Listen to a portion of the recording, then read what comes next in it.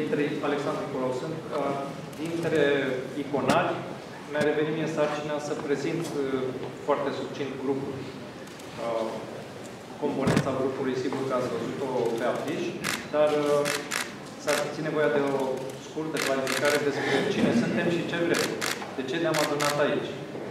Ca și dumneavoastră și noi, cei care pictăm, ne-am adunat din dragostea pentru icoană, din interesul pentru a înțelege cum se petrece acest lucru. Am putea spune că acești iconari care s-au adunat aici se uh, remarcă printr-o preocupare deosebită de a înțelege tradiția, de a înțelege uh, de ce s-au petrecut lucrurile așa și nu altfel. Uh, Cristina Cojocaru, la un moment dat, ne întreba la o altă conferință de ce secolul XIV, de exemplu, și mi-a rămas întrebarea în minte foarte mult timp. Uh, am mers acum într-o expoziție la Tesalonic, în care am văzut icoanele de la Seres, ale Mântuitorului și ale Maicii Domnului, cele pe care grecii le consideră, într-un fel, uh, cele mai frumoase icoane din Elada, dar și uh, Maica Domnului Odighiția din expoziția de la Vlatadon și pot să vă spun că iconar fiind și preocupat de proporții, matematica portretului, tehnică, și chiar de a învăța pe alții ce, cum se face lucrul ăsta, am fost uh, profund impresionat și foarte bucuros de întâlnirea cu aceste icoane, pentru că am simțit că, deși stăpânesc, să zicem, toate cele ale iconarului, nu mă pot ridica la înălțimea de expresie a acelui portret. Uh, posibilitatea de a reda un film dumnezeit prin niște culori atât de simple și, de fapt, cele mai ieftine dintre culorile pe care le folosim și anume culorile de pământ.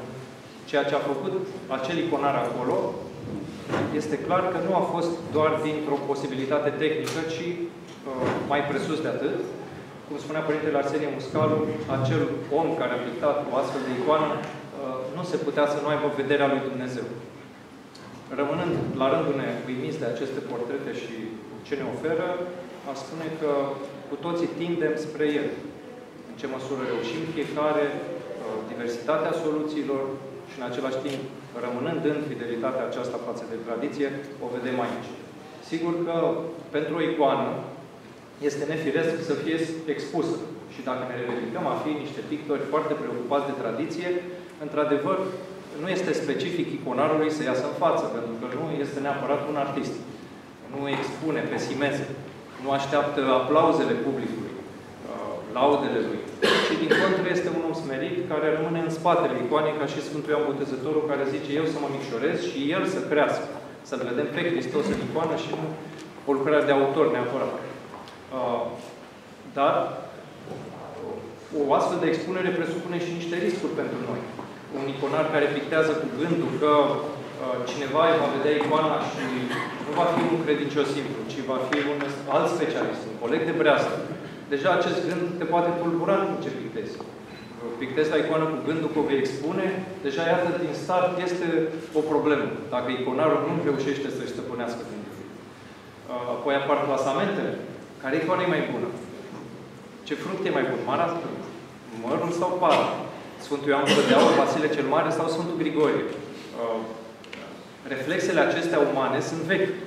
De a face clasificări, de a la rândul ne avem ochiul foarte ager în a clasifica, eticheta.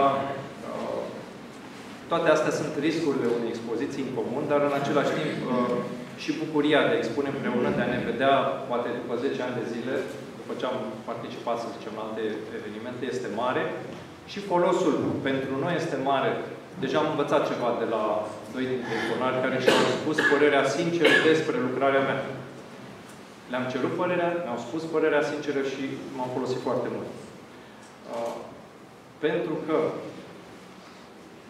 vorbim de această tradiție, uh, avem cei trei invitați uh, astăzi aici, care vor încerca să prezinte, nu zice neapărat cadrele teoretice, dar un mod în care Biserica înțelege trăirea în tradiție, modul de a ne raporta noi la moștenirea lăsată nouă de înaintași. Primul, primul vorbitor va fi Părintele Polbea, Părintele Gheorghe Polbea, care este profesor de, uh, la discipline sistematice la teologie, a ascetică și mistică și cred destul de cunoscut în uh, ieșirile sale publice, în preocuparea pentru a aduna în jurul unor dezbateri duhovnicești credincioșii bisericii noastre, studenții, tinerii în general. Vă mulțumim că ați venit și vă rugăm să Good show.